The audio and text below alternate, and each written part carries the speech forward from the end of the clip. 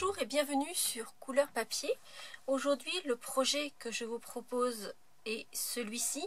Donc, je vous préviens tout de suite, comme vous pouvez vous, le constater, c'est un projet qui est assez volumineux, il y a pas mal d'étapes. Donc, la vidéo va être relativement longue.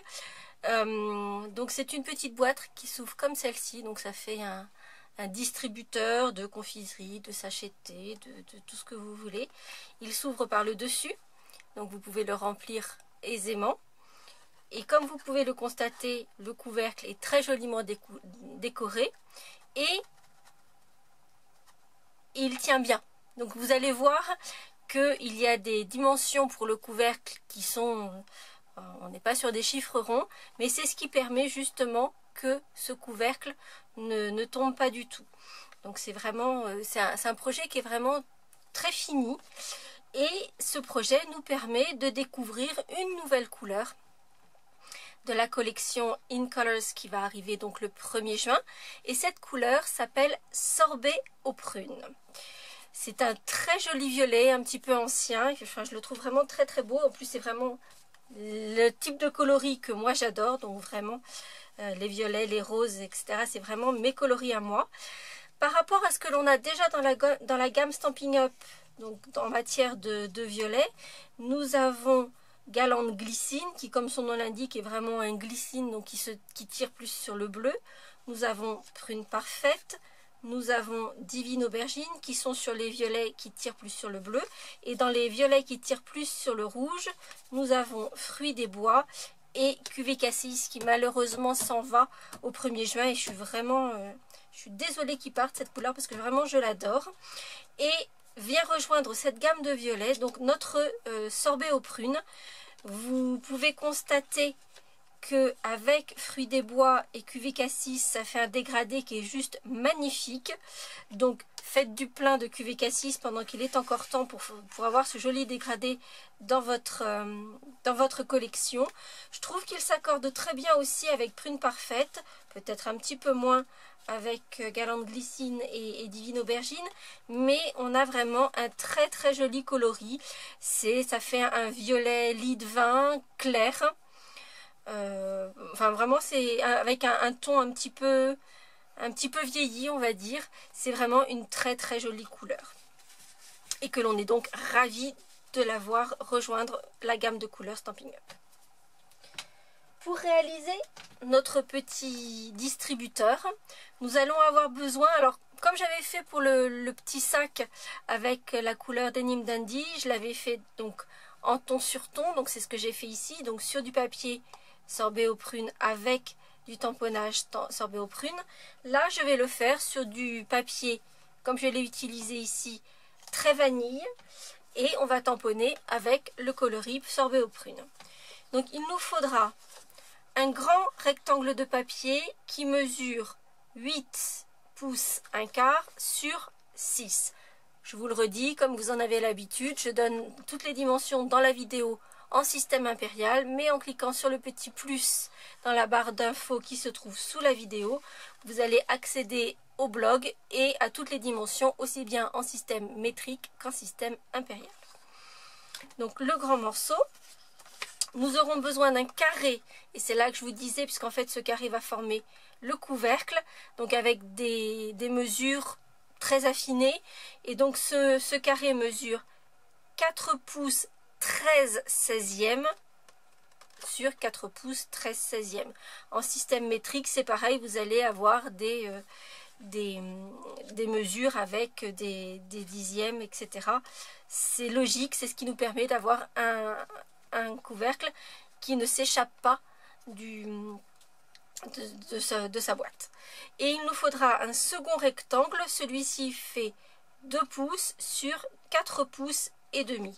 Et il nous faudra une chute de, papier pour faire d'autres petites choses que vous verrez. Alors, petite info, soyez, soyez prêts.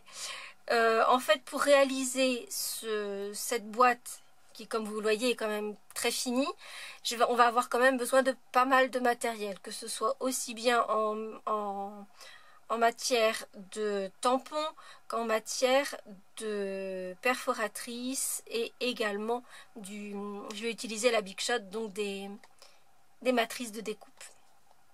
On va d'ailleurs commencer par les matrices de découpe, puisque en plus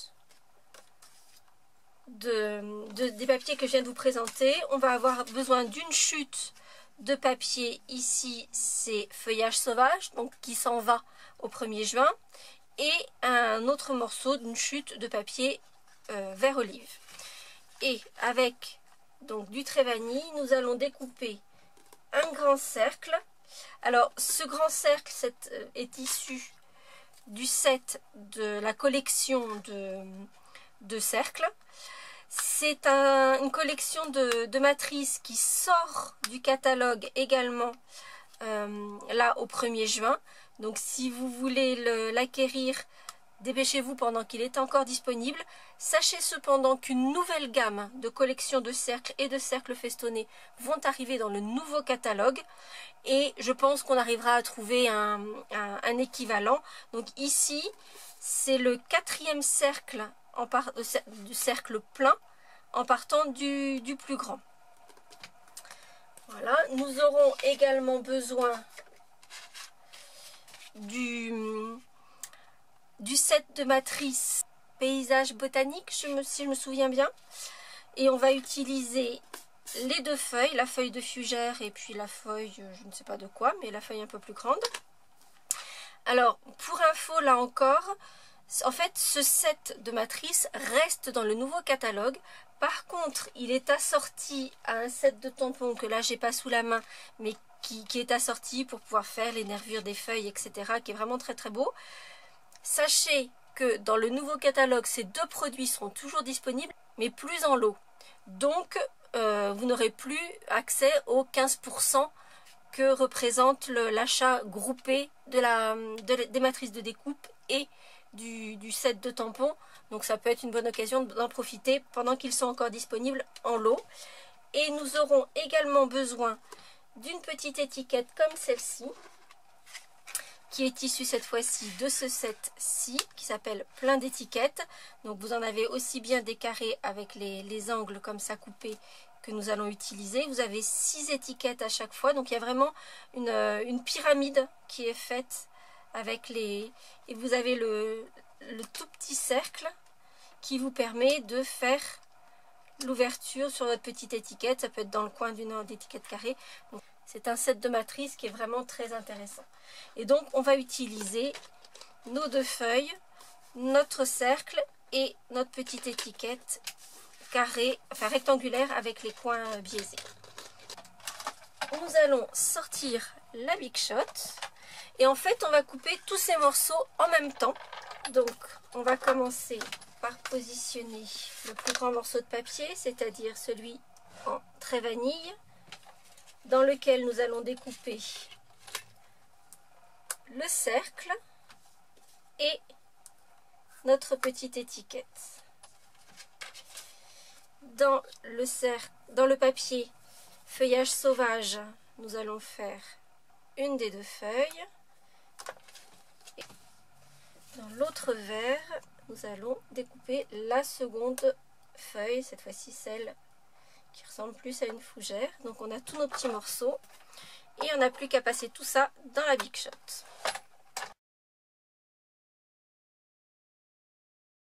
Ensuite, nous allons prendre notre planche de marquage et tout d'abord avec notre cercle, nous allons le positionner bien dans l'angle de la planche de marquage et nous allons faire une, une marque sur, euh, au centre du, cercle, c'est-à-dire à 1 3 huitièmes. Et puis on va faire un quart de tour avec ce cercle, mettre la première ligne que l'on a formée bien à l'horizontale et faire une deuxième marque à 1 3 huitièmes de façon à former 4 quarts dans notre, cercle. Pour le rectangle de 2 sur 4 et demi, on va simplement faire une marque au milieu, c'est-à-dire à 2 un quart.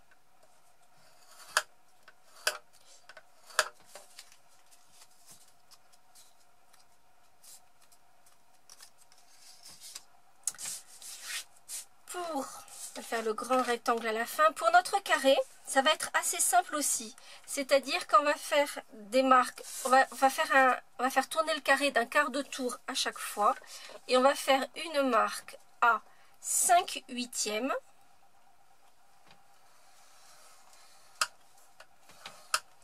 Et une seconde marque à 1 3 huitièmes. On va tourner le papier d'un quart. Et on va faire exactement la même chose sur les quatre côtés.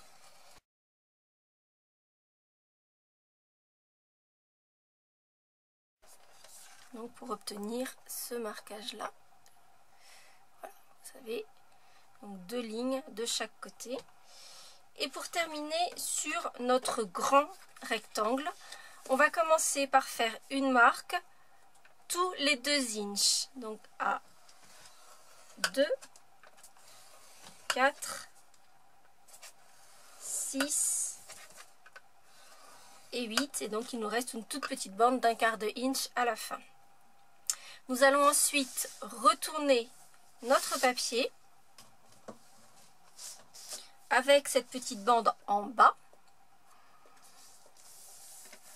Et nous allons marquer le papier à 1,5 et 3. Mais alors pour le 3, en fait on va marquer le papier que sur un des panneaux du centre, pas sur les côtés. Donc moi ce que je fais c'est que je prends une règle, je mets ma règle devant le 3 et comme ça je sais tout de suite où placer mon stylet pour aller faire la marque à 3. Et nous allons faire une seconde petite marque, toujours sur ce panneau central uniquement à 2,5. Et là en fait on le fait partiellement, c'est-à-dire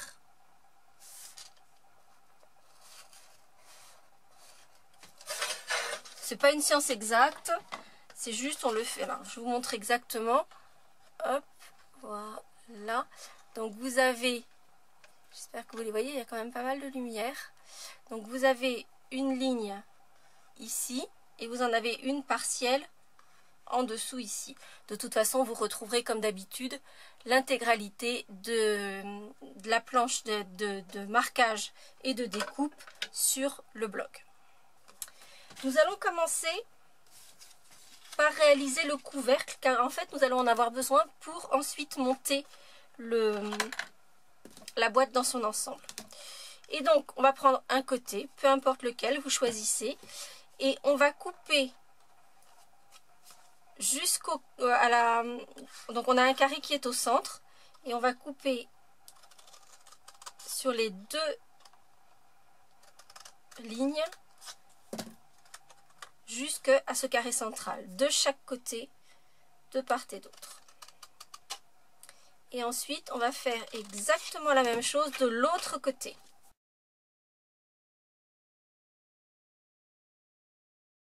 Ensuite, donc vous voyez, on a ici toutes les, les verticales qui sont découpées. Et de l'autre côté, exactement de la même façon. En revanche, ici, sur les côtés, rien du tout. Et là, du coup, on va tourner. Donc, pour se mettre sur les côtés où on n'a pas découpé sur les verticales. Et alors, sur le premier, de part et d'autre du premier rectangle, on va enlever les morceaux qui sont sur les côtés, les deux petits carrés. Et on va ensuite enlever uniquement le petit rectangle extérieur.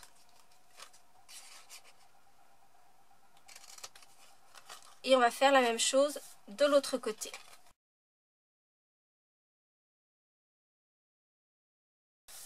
pour terminer, on va biaiser un certain nombre de, morceaux de ce, de, ce, de ce couvercle. Donc tous les petits carrés qui sont ici, on va les biaiser des deux côtés, donc de part et d'autre. Et les grands rectangles qui sont sur l'extérieur, on va les biaiser mais un tout petit peu. Vraiment, vous allez voir, il y a très très peu de matière qui va, qui va partir. Donc sur les carrés, on va biaiser normalement, sans en enlever trop, mais on, on, en enlève un petit peu. Donc vous voyez, il reste, si je mets un petit papier de couleur dessous, voilà ce que, ce que j'enlève. Pour ce qui concerne le grand rectangle, j'en enlève un peu, mais vraiment très très peu.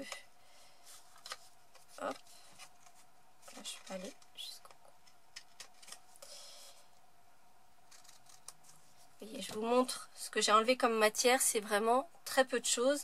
C'est juste histoire de que les, les, angles rentrent un peu sur l'intérieur.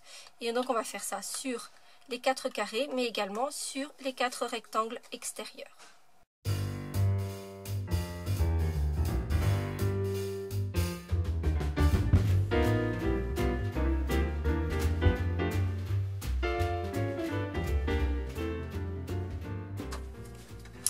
Voici donc la découpe que l'on doit obtenir donc avec les rectangles extérieurs qui sont légèrement biaisés et les carrés qui le sont un petit peu plus. Petite info supplémentaire par rapport à notre nouveau catalogue, les ciseaux artisans partent également du catalogue, ils ne seront plus dans le nouveau catalogue et avoir des vrais bons ciseaux pour travailler c'est vraiment un outil indispensable donc si vous avez l'occasion de les commander n'hésitez surtout pas, c'est vraiment un outil précieux. Nous allons ensuite appuyer toutes nos lignes de marquage.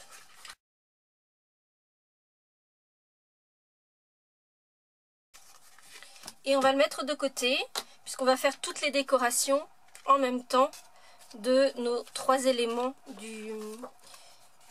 de la boîte. Sur ce grand rectangle, nous allons d'abord enlever le la toute petite bande qui se trouve ici en bas. Et on va biaiser un tout petit peu sur l'intérieur la petite bande extérieure justement. Première étape. Ensuite, nous allons découper juste le long de ces des, rectangles qui sont en bas, donc les petits rectangles. Et comme j'ai l'habitude de le faire, je vais enlever toute l'épaisseur de la ligne de marquage. Alors, sur le panneau où vous avez fait, fait votre ligne ici, c'est pas la peine d'enlever l'épaisseur. Par contre, coupez sur l'extérieur de la ligne. Et sur celle-ci, en revanche, je vais bien enlever l'épaisseur du papier. Je vais également légèrement biaiser les extérieurs. Et là encore, très légèrement, vous voyez que c'est une toute petite fine pellicule de papier que j'enlève. Et sur ce panneau où j'ai mes petites lignes qui sont faites ici, je vais découper le panneau en entier. Le petit panneau qui se trouve en bas. Donc celui-ci, je l'enlève complètement.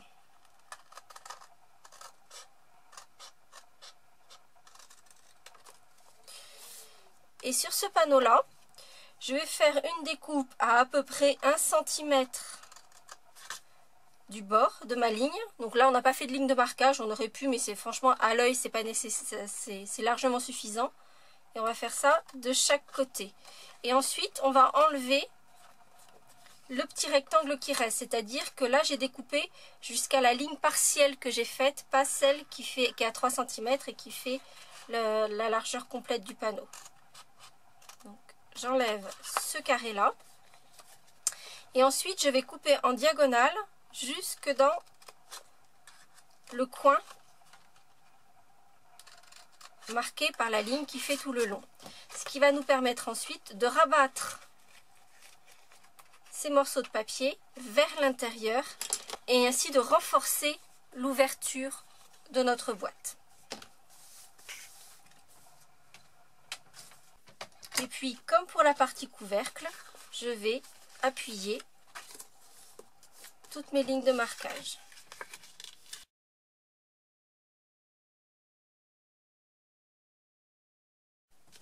Et tout de suite, je vais prendre ma colle multi-usage et je vais rabattre vers l'intérieur mes petits, panneaux qui me permettent de renforcer l'ouverture de mon distributeur.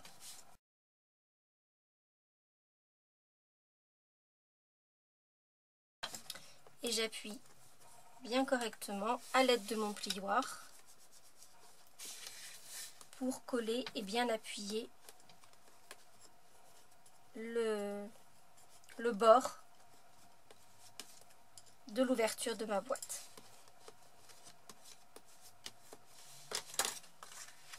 Voici donc ce que nous obtenons. Donc on a la partie principale de la boîte, le couvercle et il nous faut ce petit panneau mobile qui permet de faire l'ouverture. Ce petit panneau mobile, nous allons le réaliser donc avec notre cercle et le rectangle plié en deux. Puis, nous allons couper à environ un demi centimètre de, du diamètre.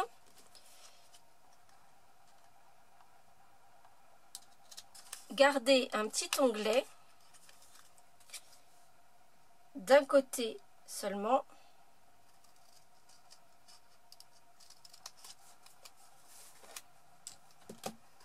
Et donc avoir deux quarts de cercle plus le petit onglet qui se trouve ici. Pour le deuxième cercle, il vous faudra faire la même chose mais à l'opposé. C'est-à-dire que vous allez couper toujours à à peu près un demi centimètre et faire exactement le même travail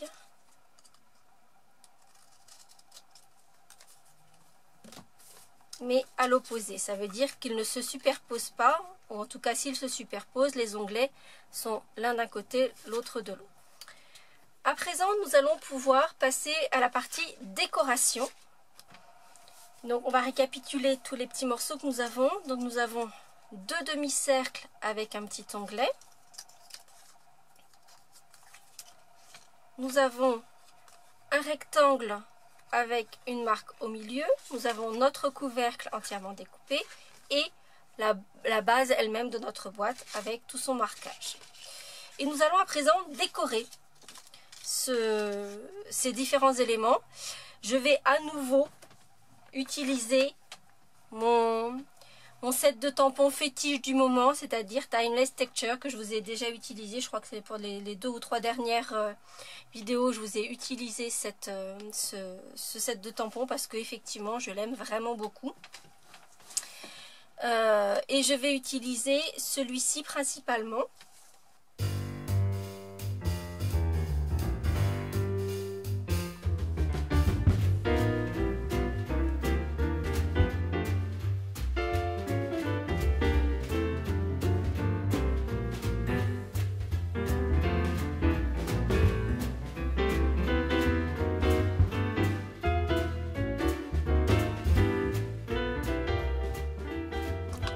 Voilà pour tout le tamponnage et on va également ancrer pour donner cet aspect un peu vieilli, donc sur tout le bord.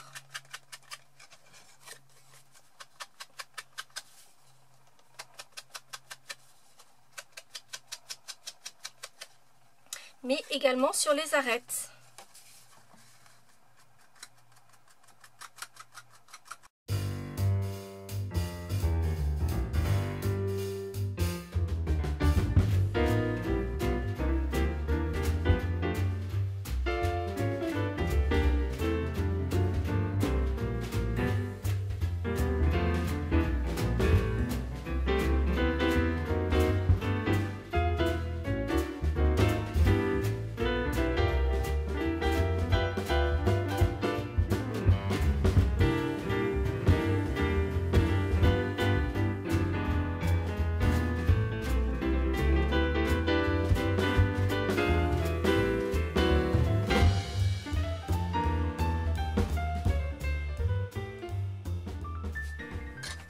Allons maintenant pouvoir procéder au montage. Donc première étape, nous allons faire ce, notre petite ouverture. Et donc nous allons commencer par utiliser notre, notre perforatrice euh, qui fait une bordure d'étiquette. Placer notre rectangle de 2 inches en double dans la perforatrice. Mettre notre morceau de papier jusqu'au fond et appuyer de façon à avoir notre petit bord festonné. On va juste reprendre notre éponge et réancrer le bord, le bord à présent festonné de la porte de notre boîte. Ensuite, nous allons placer, nous allons d'abord coller les, les doubles cercles l'un sur l'autre et placer cet onglet à l'intérieur de l'autre sens de notre porte. Donc en mettant bien aligné. Donc première étape, toujours avec notre colle multi-usage, on va ramener l'un sur l'autre les deux quarts de, de cercle. En fait, cette opération n'a pour but que de renforcer le, mécanisme de la porte dans la mesure où euh, il y aura des attaches parisiennes qui vont être placées dans ce morceau de papier. Le fait de le doubler va lui donner une meilleure résistance pour pas que l'attache parisienne puisse éventuellement euh, arracher le papier. Parce qu'il y a quand même une force qui est assez importante qui est faite sur cette partie du, de la boîte. Et donc on fait la même chose sur les deux parties.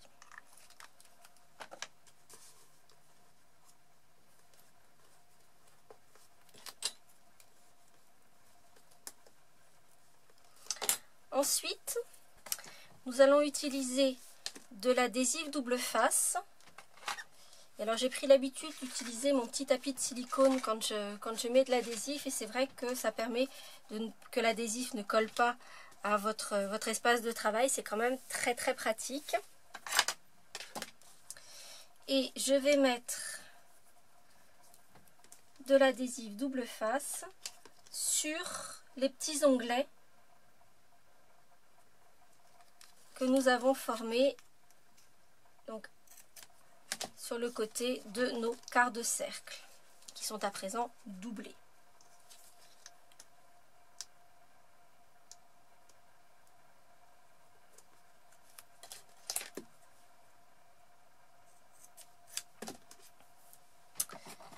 On va enlever la protection de l'adhésif sur les deux parties et en fait on va les intégrer à l'intérieur de la porte. C'est-à-dire que la partie arrondie doit venir vers le haut et on va mettre bien aligné en bas et sur le côté et on va mettre nos, nos petits cartes-cercles de chaque côté de notre, de notre porte.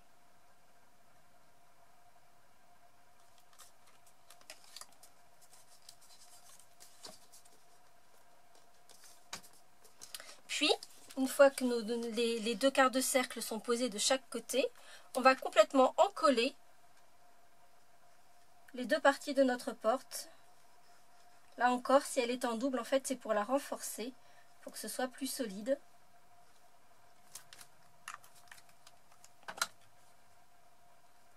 Et on colle l'une sur l'autre les deux parties.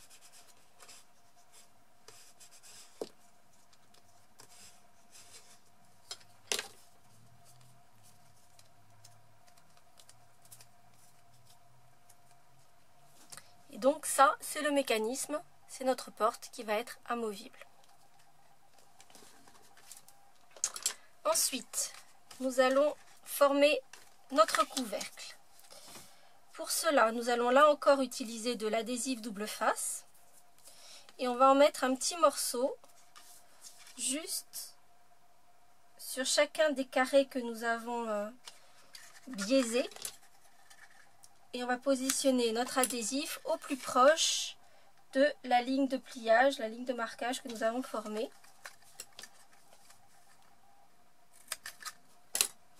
Et ce, sur les quatre volets d'assemblage.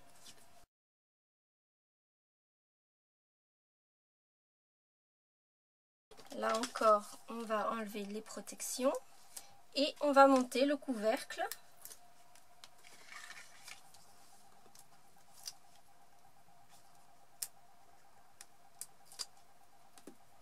Donc en ramenant vers l'intérieur les volets d'assemblage et en mettant bien alignés les arêtes de notre couvercle. Et ce, sur les quatre côtés.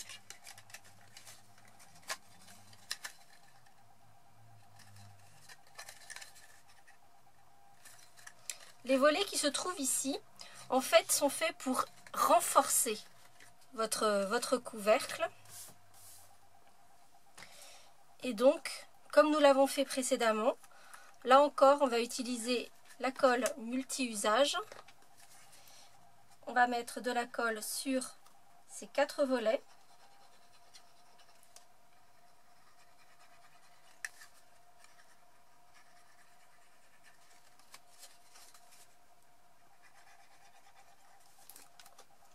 Et on va les rabattre à l'intérieur du couvercle.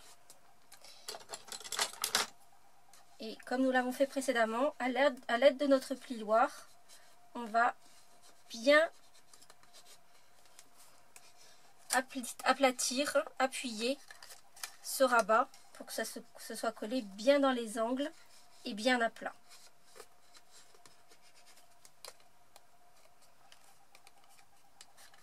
Et en fait, on a deux avantages à faire ces, à faire rabats à l'intérieur. Le premier, comme je vous le disais, c'est de renforcer les, les, côtés de notre couvercle. Mais en plus, on ne voit plus, du coup, les onglets d'assemblage qui pourraient être éventuellement disgracieux, même si c'est pas super grave. Mais du coup, on a quelque chose qui est vraiment très propre et surtout très solide. Je donne juste un petit coup de plioir sur les arêtes verticales un petit coup d'éponge pour ancrer ces arêtes également. Voici notre couvercle fini, pas encore décoré, mais au moins fini.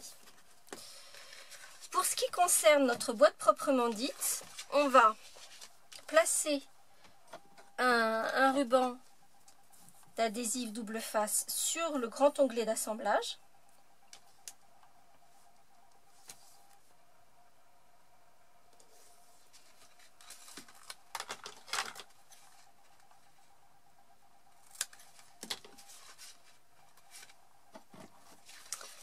et on va assembler à plat. Si votre colle adhésif dépasse un petit peu de l'onglet d'assemblage, ramenez-le sur faites une double épaisseur en fait finalement de façon à ce que ici il n'y ait plus de colle pour que ça ne vienne pas coller à l'intérieur et puis en se mettant bien à plat et en alignant bien les verticales et les horizontales, on va assembler notre boîte. À présent, nous allons mettre en place la porte, l'ouverture de notre boîte. Ce qui veut dire que nous allons avoir besoin de notre poinçon pour faire les petites ouvertures qui nous enfin les petits, les petits trous qui vont nous permettre de mettre bien en place notre, notre porte. Nous allons commencer donc par positionner le, le quart de cercle vraiment dans l'alignement de la verticale de notre boîte. Et on va faire un petit trou dans l'angle. On va ensuite replier dans l'autre sens notre boîte et faire exactement la même chose pour l'autre demi-cercle.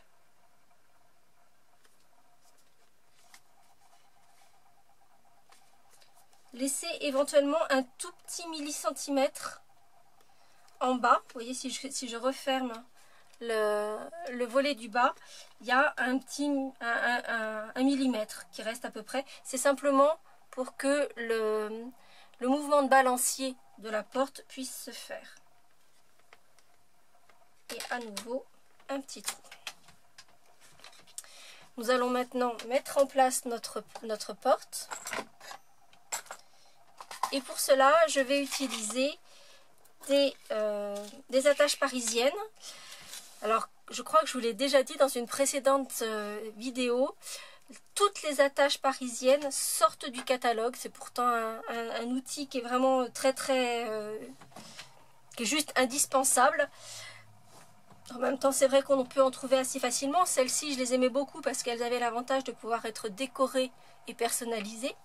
Donc là encore, si vous n'en avez plus et s'il en reste encore dans les produits qui sont, euh, qui sont en fin de série, n'hésitez pas, c'est vraiment un super produit. Et donc, on va mettre nos, attaches parisiennes ben, dans nos deux petits trous, donc alignés.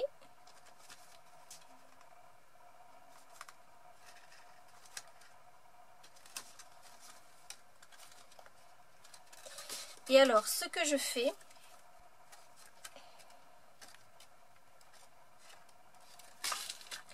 c'est que, comme vous pouvez le constater, les, jambes, on va dire, du, de la tâche parisienne sont un peu longues, en particulier sur le côté du bas.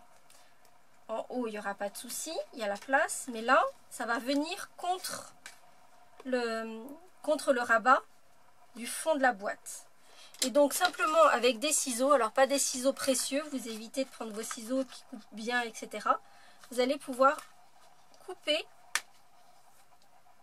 un morceau de la, de tâche parisienne. On va pas trop serrer la tâche, il faut que le mouvement puisse encore se faire. Et on va faire la même chose de l'autre côté.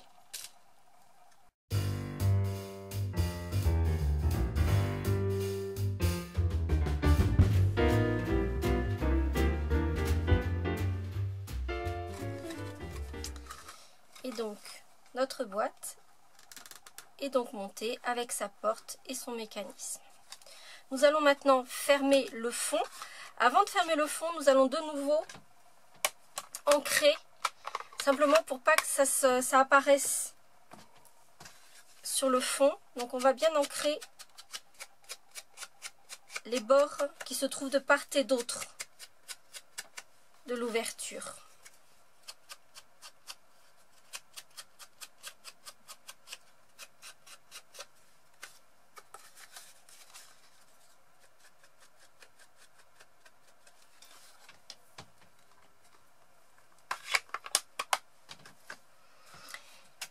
Disais que notre couvercle va nous aider puisqu'en fait nous allons le mettre en place sur la boîte. Et ainsi, il nous donne la forme de notre boîte. Et on va pouvoir fermer le fond assez facilement. Donc d'abord en fermant les côtés et ensuite en fermant le fond, toujours à l'aide de la colle multi-usage.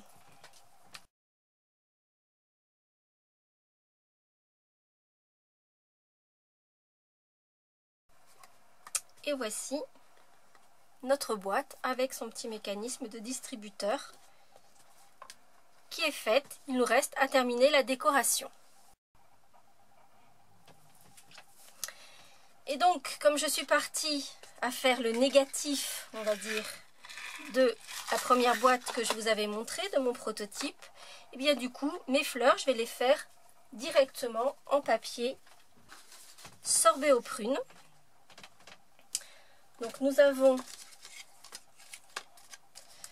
les, les feuilles que nous avons découpées au tout début.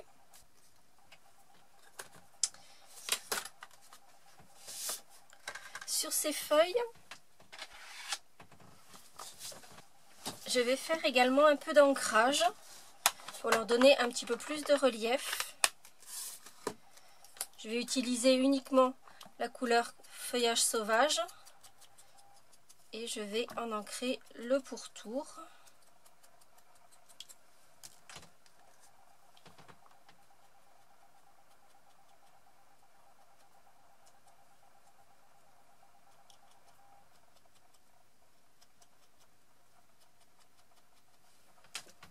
Voilà, nous avons déjà nos feuilles à qui auquel on va donner un peu plus de relief dans quelques secondes. Et je vais ensuite utiliser deux sets de tampons qui eux aussi restent Et ça tombe bien parce que ce sont des basiques qui sont vraiment intemporels et qu'on utilise à tellement d'occasions. Donc c'est les deux sets qui s'appellent Flower Shop et Petite Petals. Et je vais utiliser les deux petites fleurs qui se ressemblent en fait, qui donnent un effet un petit peu comme crayonné. Et ces deux euh, sets de tampons sont assortis à deux perforatrices pour aller avec les, euh, les sets de tampons. Alors, je n'ai pas revérifié, mais il me semble que au moins un des deux sets, un des deux hum, sets de tampons existe en lot avec sa perforatrice. Et donc, comme je vous le disais tout à l'heure, à l'ouverture du prochain catalogue au 1er juin, ces articles seront toujours disponibles, mais plus en lot. Donc, vous perdez la remise de 15% sur le, sur le lot, ce qui est un peu dommage. Donc, profitez-en bien. Les, lots sont vraiment intéressants et on a vraiment le, complet entre les tampons et les, et les perforatrices ou les matrices de découpe. Dans mon papier sorbet aux prunes, je vais donc...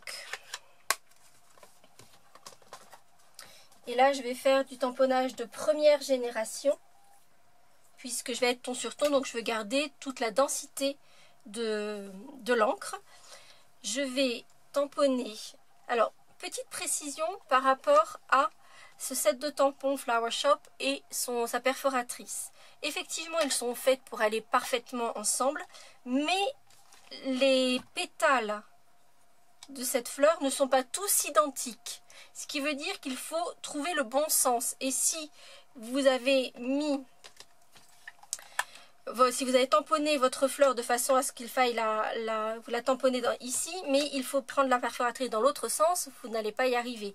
Ou alors vous allez tourner autour, etc. Donc la petite, euh, le petit truc que je vous donne, c'est que repérez bien avant, et faites-le sur votre tampon, la partie du tampon qui se trouve en bas.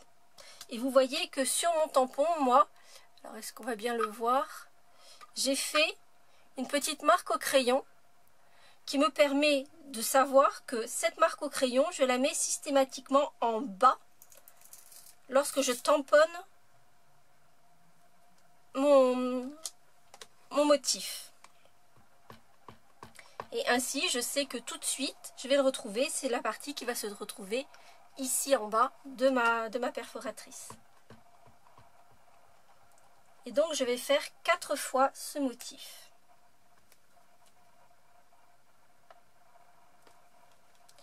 Et je ferai également huit fois cette fois-ci ma petite fleur.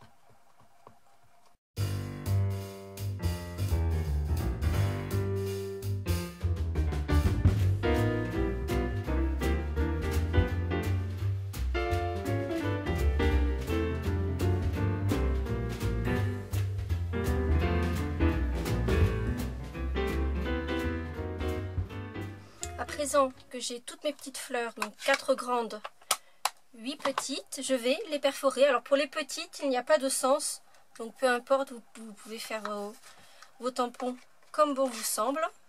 Et vous voyez que ils sont complètement adaptés à ce tampon.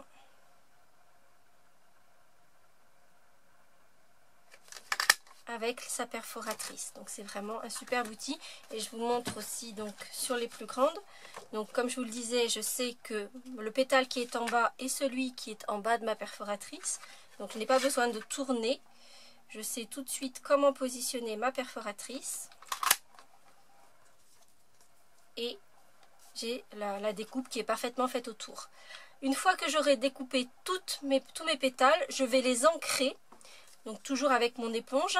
Et par contre, je vais ancrer sur le dessus, mais également sur le dessous.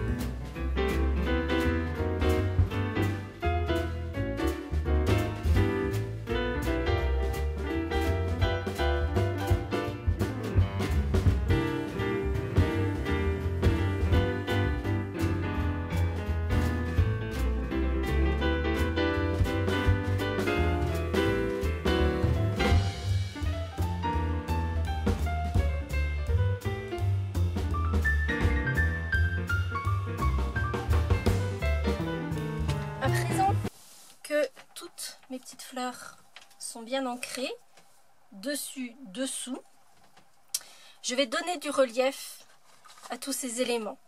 Donc je vais commencer pour ce qui concerne les feuilles, simplement sur mon tapis de mousse et en utilisant mon poinçon, je vais appuyer au centre.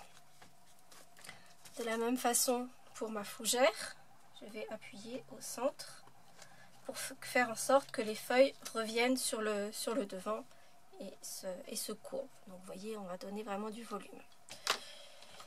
Et pour nos feuilles et pour nos fleurs et notre plus grande feuille, je vais utiliser une pince comme ceci, donc euh, avec des, avec des, des embouts plats.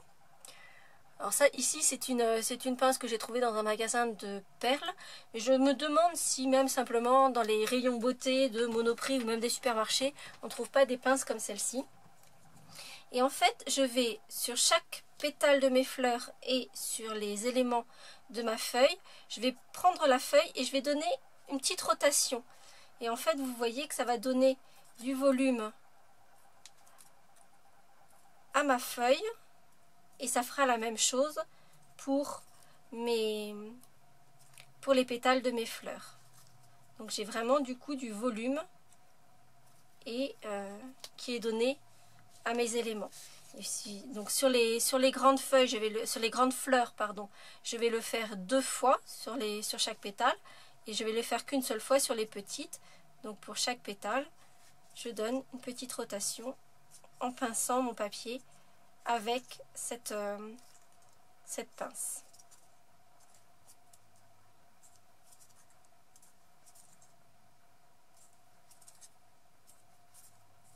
Et vous voyez que ça donne vraiment du volume à la fleur. Et on n'a plus qu'à faire ça sur toutes nos petites fleurs.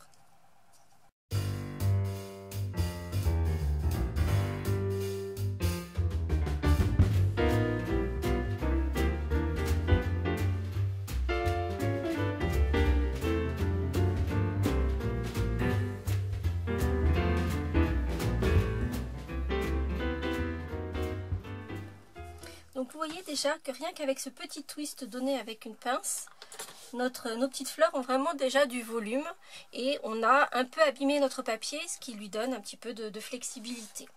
Ensuite, nous allons sur deux petites fleurs et sur une des grosses, habiller le cœur de la fleur. Donc pour les petites, c'est assez simple. Je vais utiliser un gros bijou perle que je mets au centre simplement. Pour la grosse, je vais mettre un gros bijou perle tout au milieu. Et je vais utiliser les tout petits bijoux perles et je vais en placer 6 tout autour.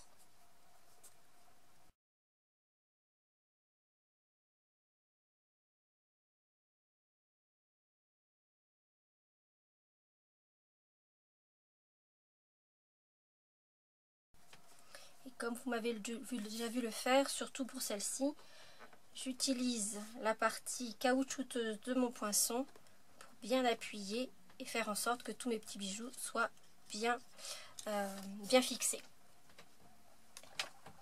Ensuite, nous allons monter nos fleurs à l'aide de, de mini points de colle. Et donc, nous allons commencer par la plus grosse des fleurs. Pour les plus grosses, je mets deux mini points de colle au centre. Et je vais positionner un étage suivant en décalant un tout petit peu le centre. Pour les étages suivants, je vais recouper jusqu'au cœur en fait de la fleur entre les pétales.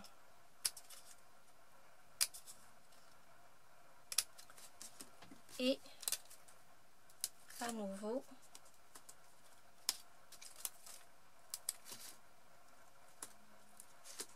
je colle ma fleur par-dessus les précédentes.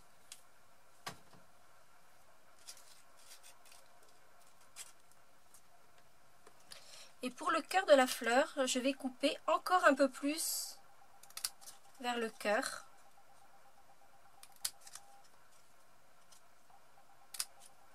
Jusqu'à ma décoration avec les perles en fait. Et cette fois-ci, je vais ne mettre qu'un seul mini point de colle au centre.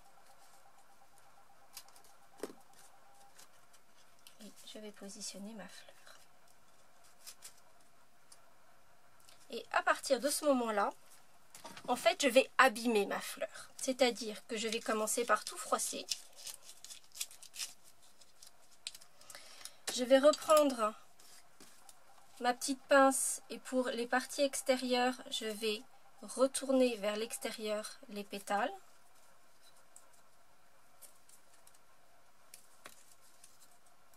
Je fais ça en général sur les deux, euh, les deux premières couches, on va dire, de ma fleur.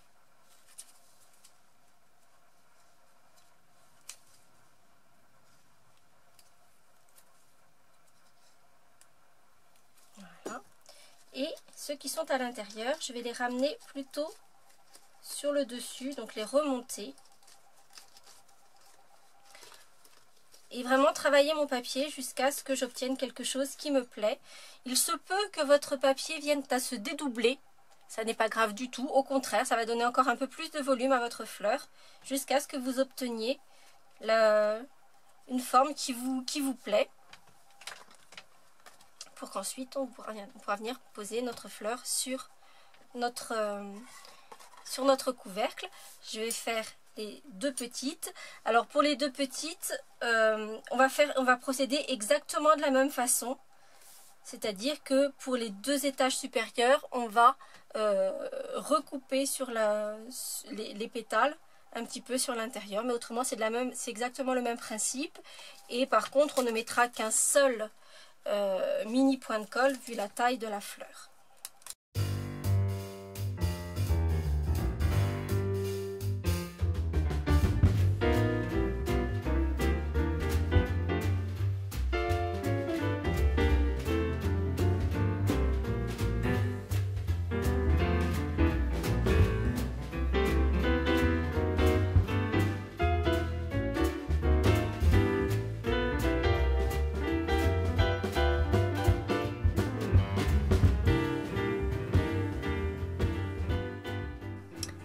Présent que, nos petites décorations sont prêtes, il s'agit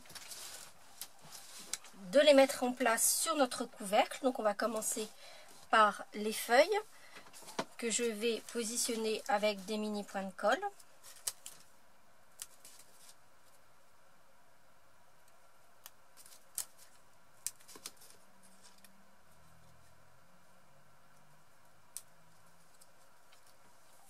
Donc elles peuvent tout à fait sortir du couvercle. C'est vraiment, euh, au contraire, ça va donner plus de volume. Pour la, feuille de fougère, vous vous rendez bien compte que les, les mini points de colle sont plus larges que la feuille en soi. Mais ça n'est pas grave du tout puisque par-dessus, il y aura nos petites fleurs. Donc ça ne pose vraiment aucun problème.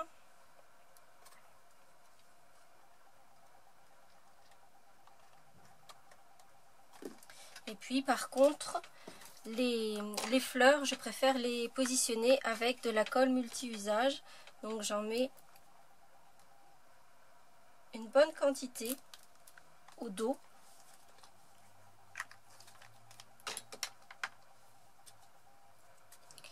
Et je vais positionner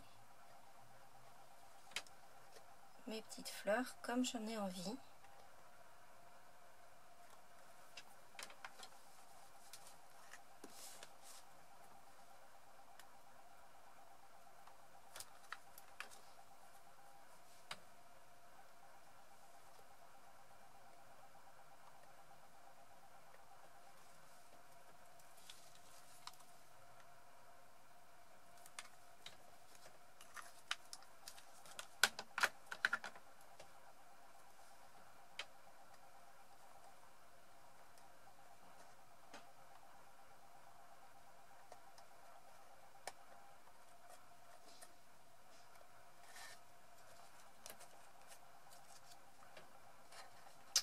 Il ne nous plus qu'à mettre le petit message sur le devant de notre boîte. Par contre, j'ai coupé mon, mon message dans du papier vanille et je trouve que ça ressort pas suffisamment. Donc, je vais redécouper cette petite étiquette dans du papier sorbet aux prunes. Et du coup, je vais mettre mon message avant, ce sera plus facile. Le message que j'ai choisi, comme je pense mettre des petites confiseries dans ces petits distributeurs, le message que j'ai choisi est issu du, du set qui s'appelle Plaisir du Palais. Donc il y a des messages qui sont vraiment sympas parce qu'effectivement il y a le plaisir du palais.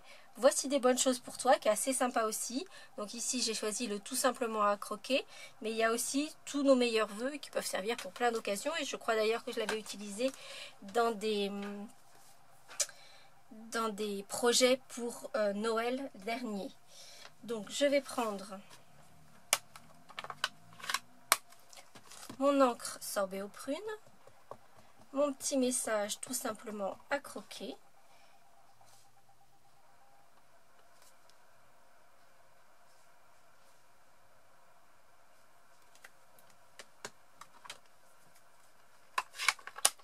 Et je vais découper à la Big Shot autour de ce message.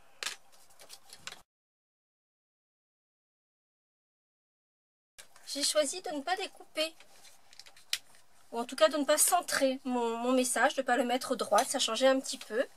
Je vais ancrer le pourtour de mon étiquette, comme je l'ai fait partout pour ma boîte.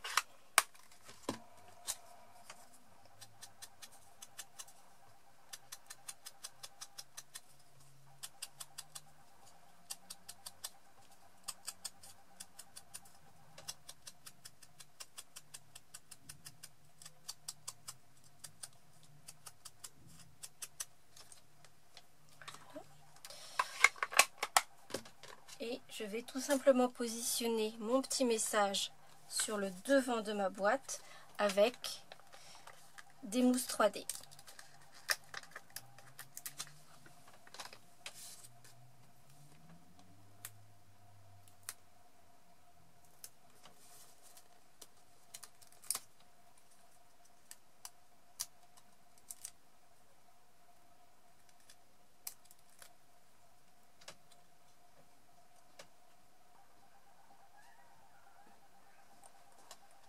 Il nous reste deux petites étapes pour finaliser notre boîte. La première, c'est que je vais, comme mes, mes, attaches parisiennes sont décorables, je vais poser un bijou perle sur mes deux petites attaches parisiennes qui forment le mécanisme de ma boîte. Et dernière étape, je vais faire le support. Je trouve que ça finit bien la boîte, mais en plus, ça va lui donner davantage d'assises et elle, aura un peu plus de poids sur le bas. Et donc pour cela, nous allons découper trois carrés dans du papier très vanille. Et je vais donc découper un carré de 2 3 huitièmes.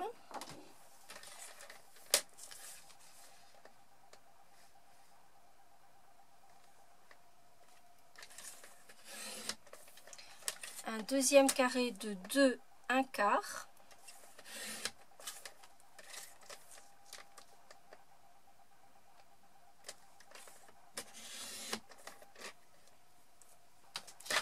Et un dernier carré de 2 1 huitième.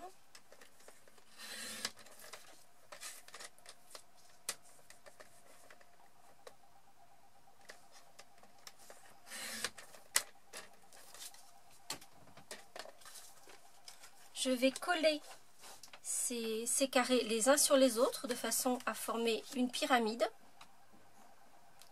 Donc toujours avec ma colle multi-usage.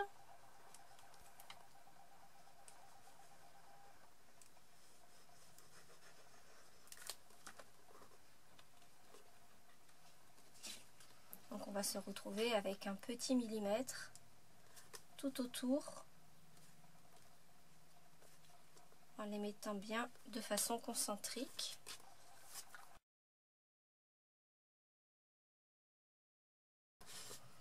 Je vais ancrer les pourtours de cette petite pyramide, toujours avec mon encre sorbet aux prunes.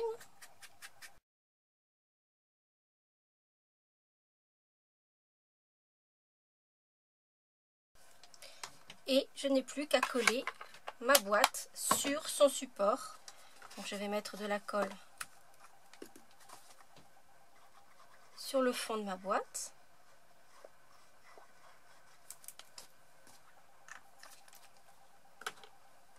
Et centrer ma boîte sur son support.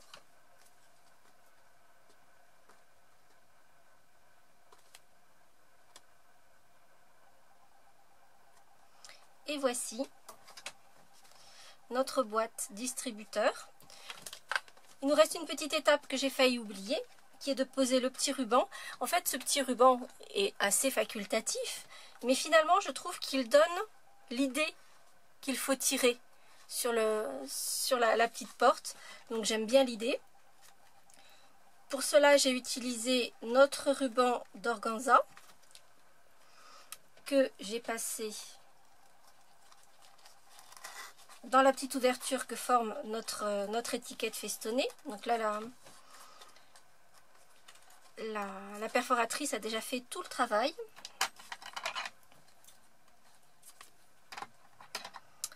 Et pour maintenir mon ruban et ne pas faire de gros nœuds qui pourraient être disgracieux, j'ai simplement utilisé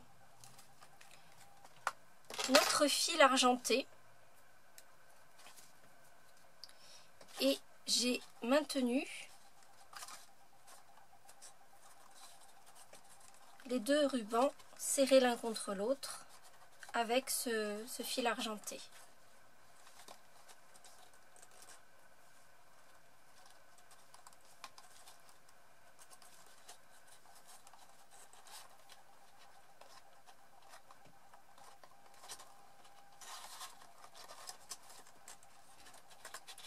un petit nœud.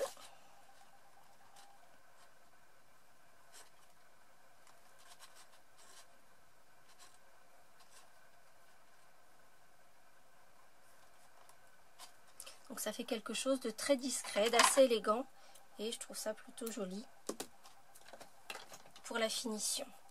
Je vais juste terminer en ajustant mes rubans.